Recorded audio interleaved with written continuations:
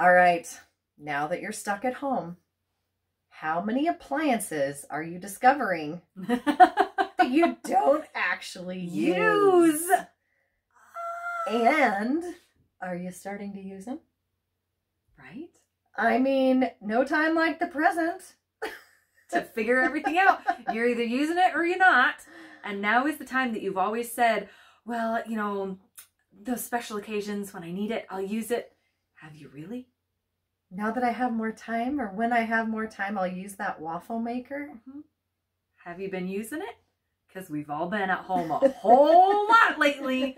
And if you haven't used it, it's time to have a little discussion with yourself. All right. Well, the good news is you are about to spe- save thousands of dollars and thousands of calories because you can't go out to dinner and you can't, I mean, you can still go through the drive through, but you don't need to because you're not out of the house and you're not running around like a crazy person because your schedule is empty. Yeah. So, yay, saving money, saving calories. and so dust off those pots and pans.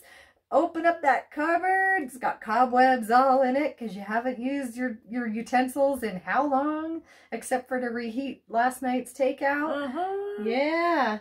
And it's so funny. I always, about two thirds the way through any season, I tell people, okay, if you haven't worn, you know, if we're two thirds of the way through through winter, and you haven't worn half of what's in your closet, it's time to get rid of it because we've gone through the coldest snap, the hardest winter, all the snow, all the slush, all the yucky stuff.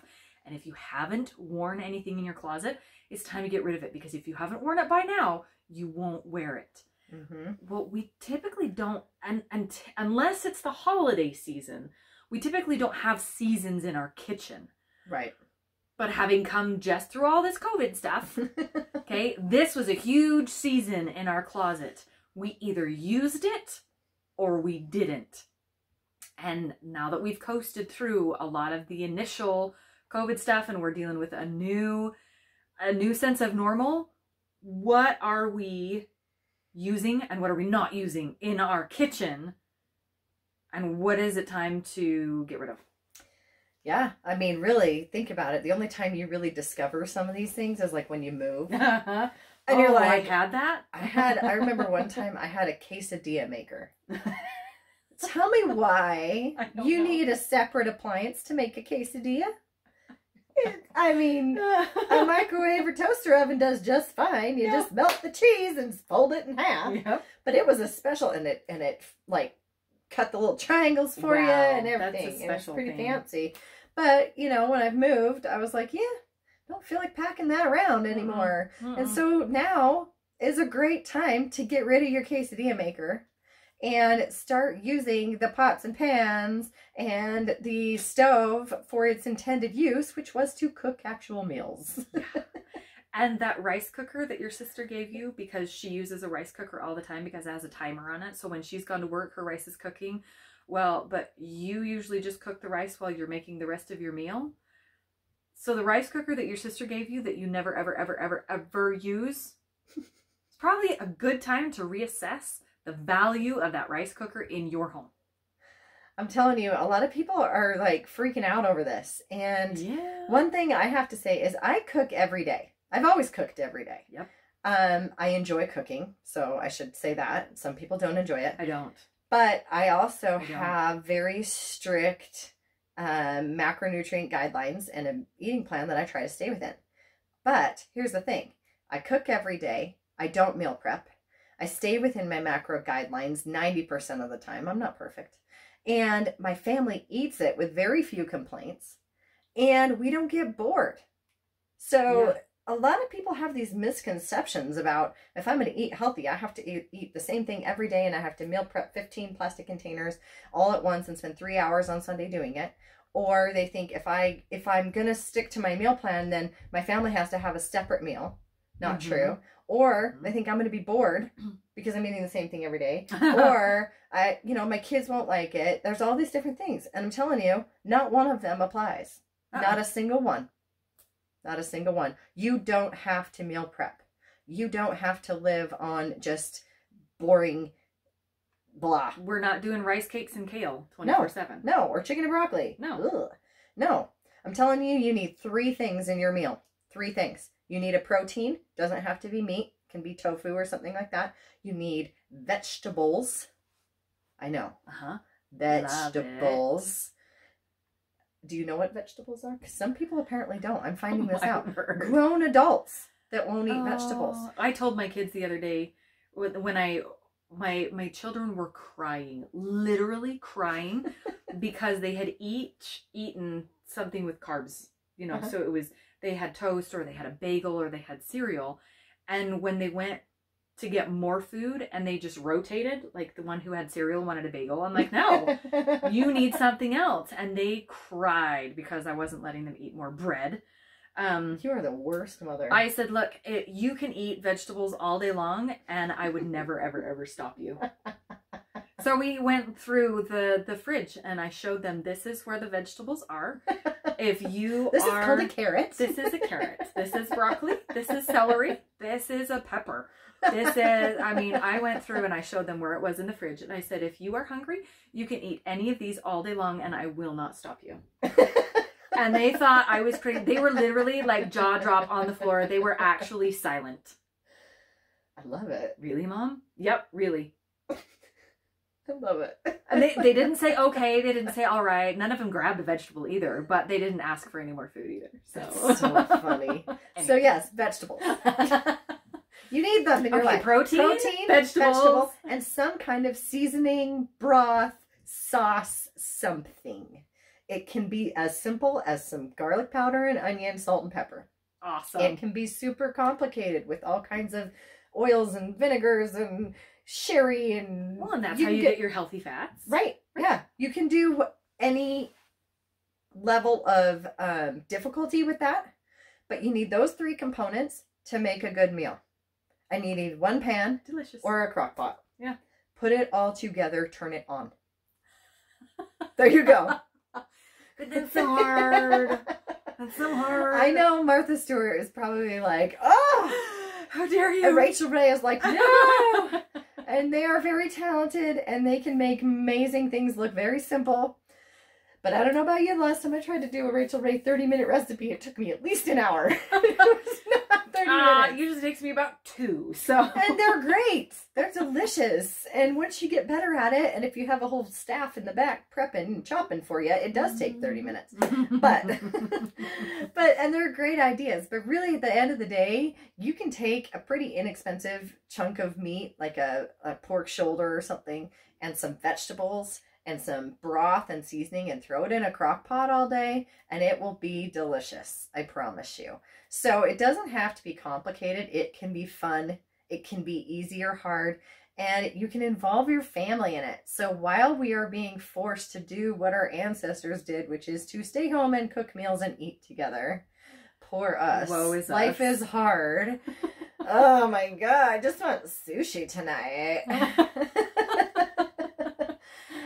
yeah, chicken it is. Mhm, So, mhm. you know, you can do takeout and you can do all these fun things, but they take a lot more energy and they take a lot more money. Yeah. So you're already home, you've got the appliances, dust them off and use them. and go from there. Now, there's something to be said about following a routine in the kitchen. Yes. Um, this is going to be one of those things that you hear from us over and over again is following a routine, following something that works. And once you find something in a kitchen that works, set yourself up for success and find the appliances that are going to help you stick to that routine. So if that means you need that rice cooker that you can program so that your food is done by the time you get home, if you need that crock pot that it can Mhm. cook all day, if you need the pressure pot, whatever you need to stick to the routine that helps you in the energy in the space that you need, do it. Stick to it.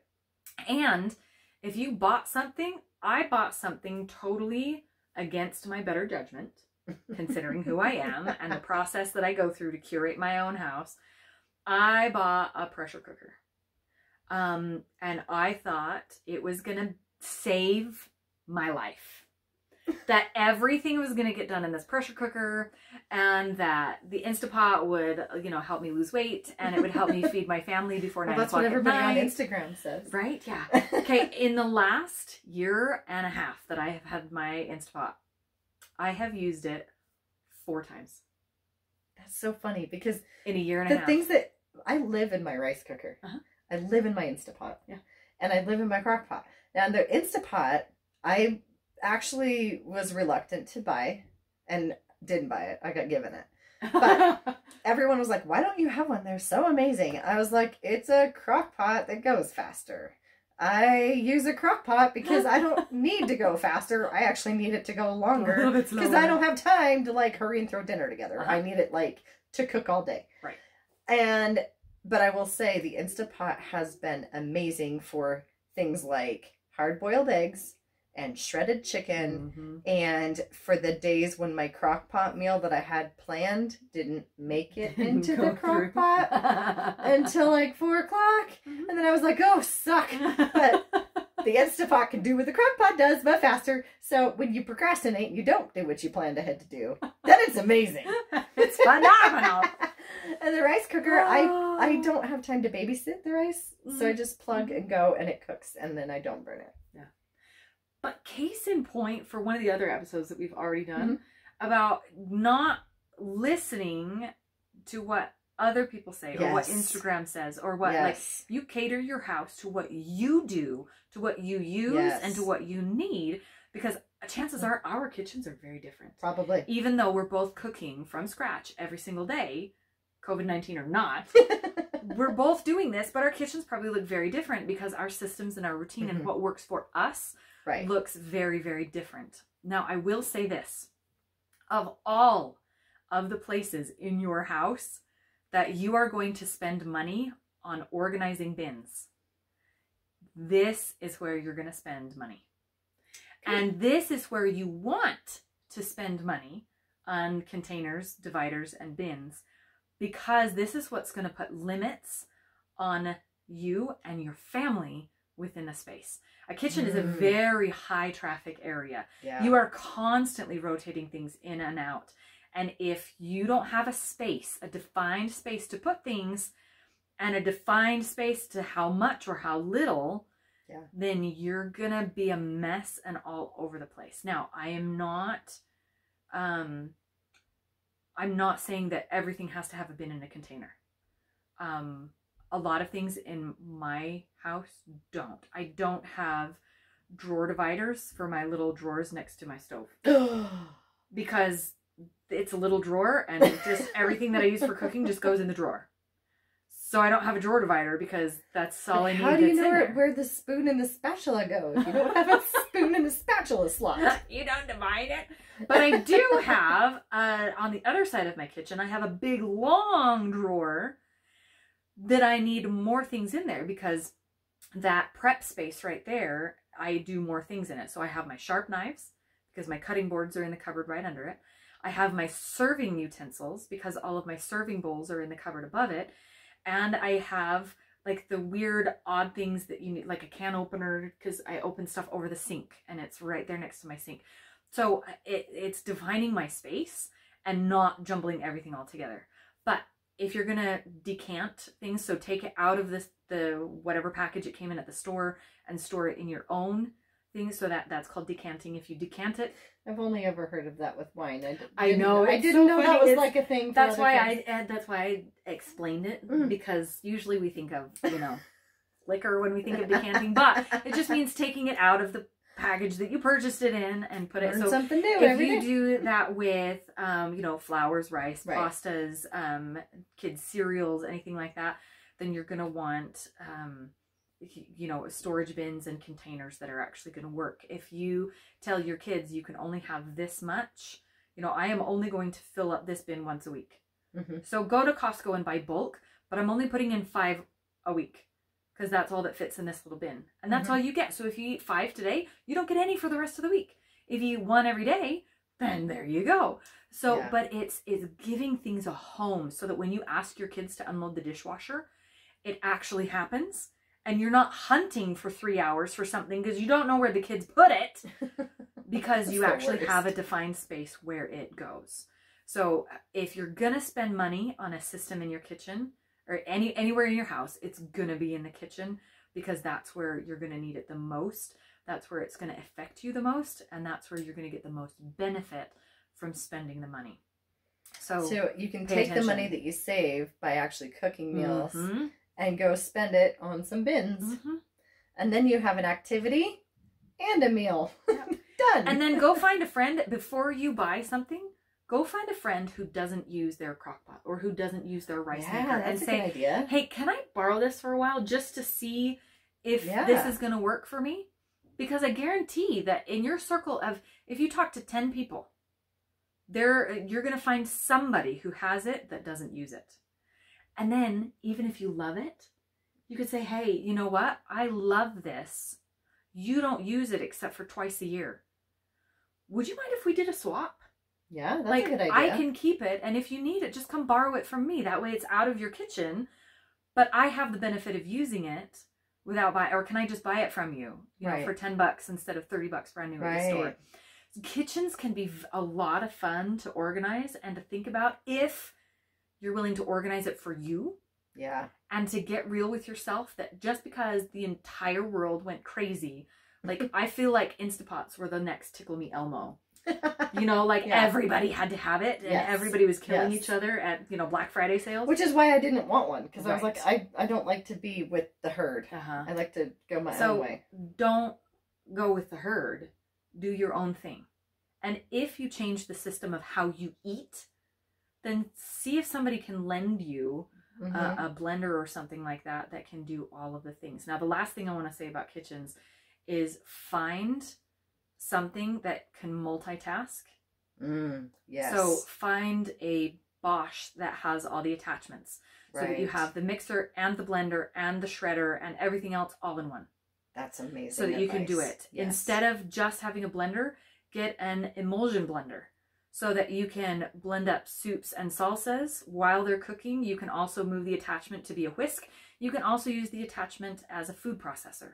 So get something that is going to multitask for you in a kitchen so that as you are multitasking, you only have to use one appliance instead of 15.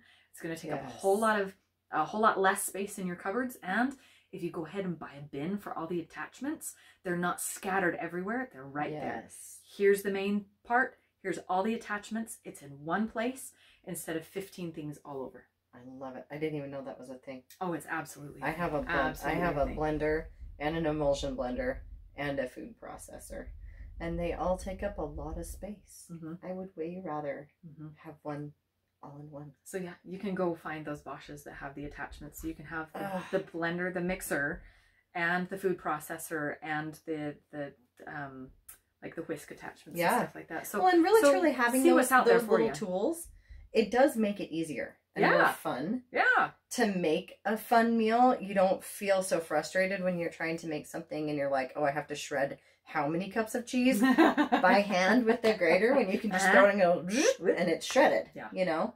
Um, and then you also don't have to buy the pre-bagged shredded cheese that is has wood coated chips. in wood chips. Mhm. Yeah. Yeah. Just side note, you're eating wood chips if you buy pre-shredded cheese. fiber. Mm. I call it fiber. okay, so this week's homework is to change something in, In your, your kitchen. kitchen. It may be something as simple as dusting off your stove and using it to cook.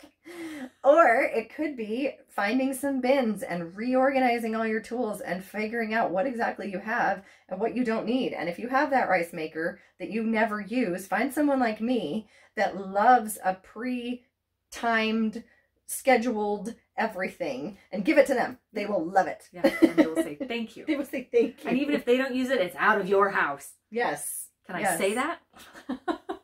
Okay, let us know what you change changed. something in your kitchen and let us know. Send us a post on Facebook at Homebod Podcast. Um, let us know in the comments below here what you're excited for, what you're looking forward to. Find that accountability partner and share this podcast with somebody else who needs to hear it as well. Have a good week. Good luck.